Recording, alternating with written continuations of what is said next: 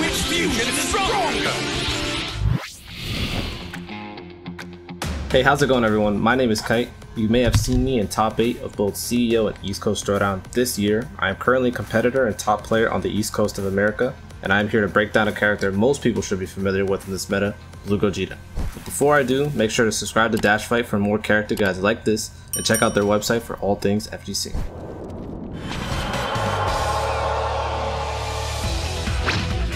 That was a great training session.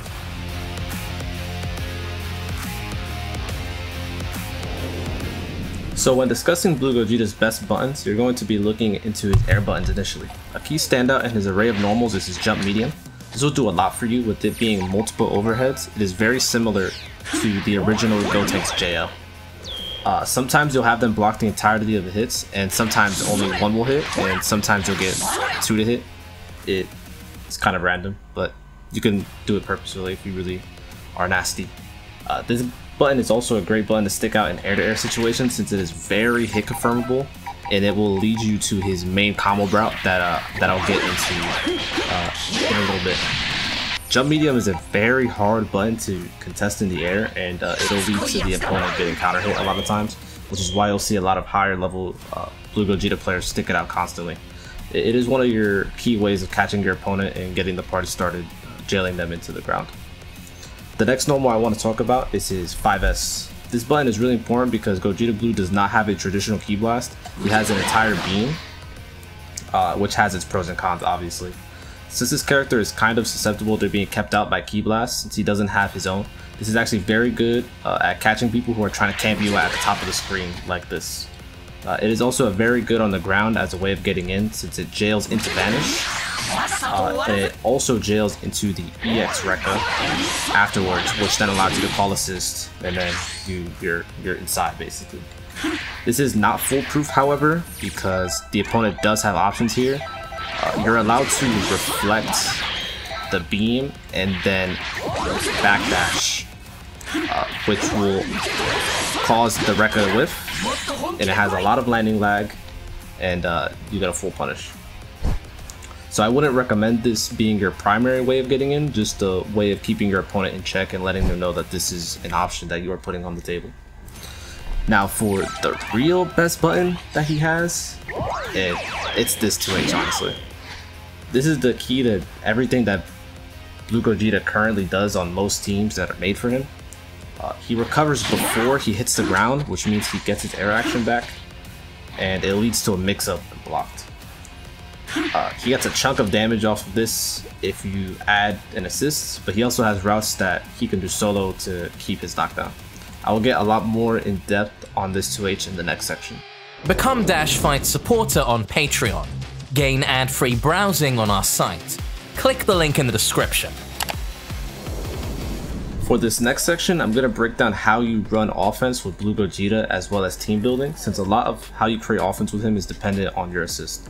It is the most straightforward aspect of the character, and he can use a majority of the cast as mix-up assist. However, the most optimized teams give him access to the first mix-up I'm going to be talking about, the 2H5050.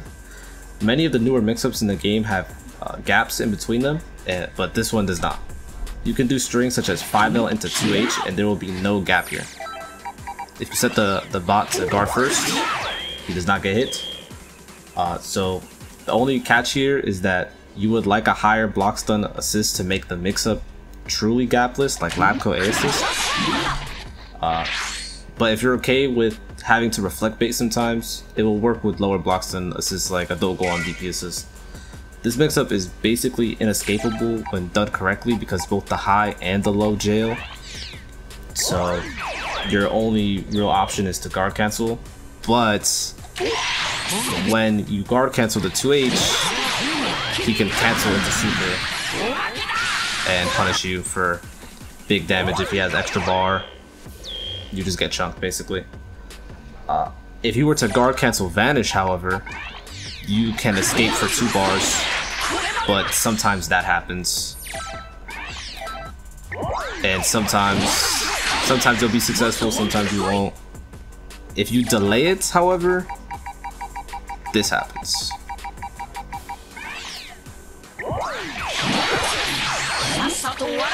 And sometimes, if done better like that, he will 2H you on landing. So this is basically not an escapable, mi escapable mix-up. You are forced to spark or take the, the hit, try to guess properly. The next mix-up that he can do with most assist is off of his light into medium Rekka. And as you can see, there's a gap here. So this is why you will see a lot of good Gogeta players stop here as a way to uh, bait reflect.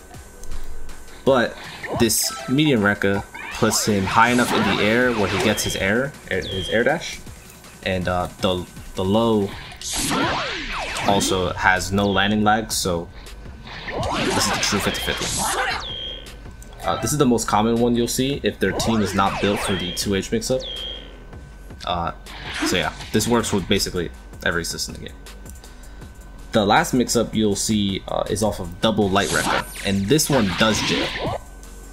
Uh, the reason that they do this is uh, it sets up the fuzzy if they stand block, like such.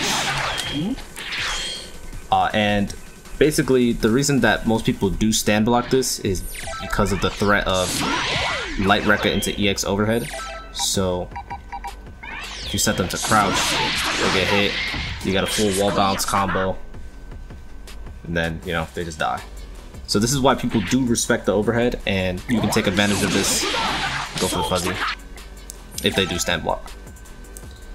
Uh, Gogeta uh, Blue really pairs up nicely with Ki Blast assists such as Vegito, uh, since his jump medium into light anti-reflects. So he can just continue to put the pressure on him. See? He doesn't, even though uh, I made contact with the reflect, I do not get sent flying back. And then I just stay in. Uh, he also has built-in anti-reflect uh, his low as well. So reflecting this is very difficult. Uh, and this also means that he plays nicely with basically every character and he can play his role on many teams. Uh, the reason, however, that he has played at top level with Vegito is one, Vegito's top tier, and two, uh, Vegito's assist covers uh, uh, his main weakness, in my opinion. So most of the time, Vegito is a must-play while uh, while picking this character. The best anchors for him, though, are Lab Coat and uh, Android 17. They both give him access to all of the mix-ups that I mentioned previously, but both uniquely give him something. 17 keeps him extremely safe with the barrier, while Lab Coat gives him a fast anti-Ki Blast move to counter call against Vegito uh, assist. I'll elaborate why these are important shortly, but before I get into his strengths and weaknesses and how teams cover them up, I will first show you Gogeta's true purpose on this team, his combo potential. So Gogeta's combo game is actually pretty insane. He will essentially always 2-touch you as long as you have DHCs. Uh, here I'm going to show you a few combos just to get you guys started. One mid screen, two corner routes, and then a couple important situational routes to show you how crazy his uh, combos actually are. These routes are the ones you're going to be doing most of the time, uh, since they net the most reward and the most corner carry. So for the first route, it's going to be his mid-screen re-jump from J2H.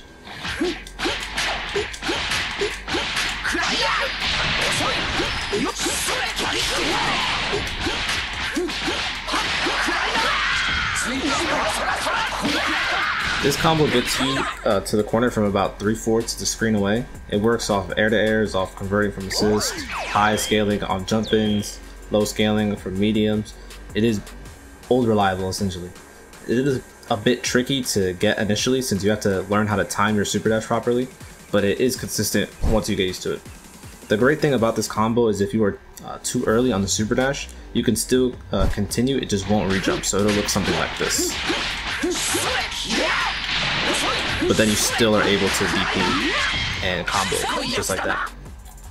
Uh, if you have access to an assist, uh, you're able to end in active tag DR instead of just doing DR uh, as your ender after the first DP. So that'll look like this.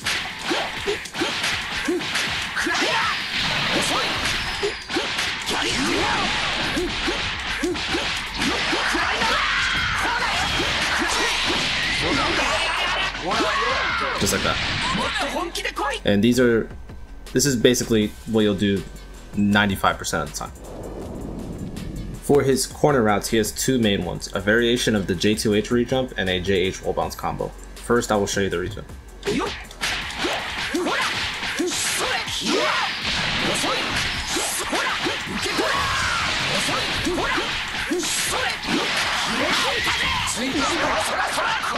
This one is a lot easier than the mid-screen one in my opinion, and it will be your go-to if you air-to-air them uh, in the corner or convert off a pop-up assist like Vegito.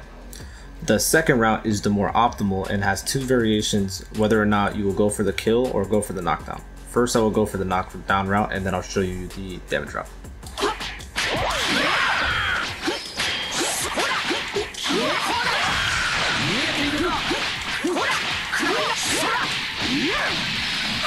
The damage route is a combination of the two routes that I just did with an active tag ender. So this route is only useful if you have an assist available.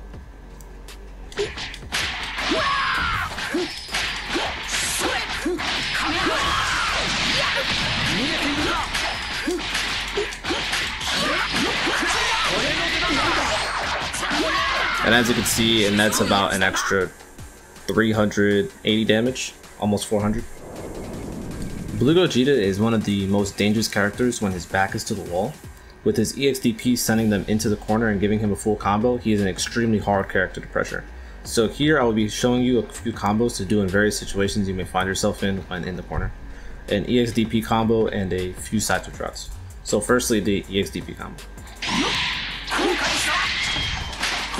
When doing this combo, you want to be mindful of using your supers at the end. Uh, since this combo is off of DP, it'll give them all blue life that they can recover. So if it's not going to kill, I recommend not spending your supers. The next combo will be off of 5L, and this is the most optimal side switch route that you can do off of jab.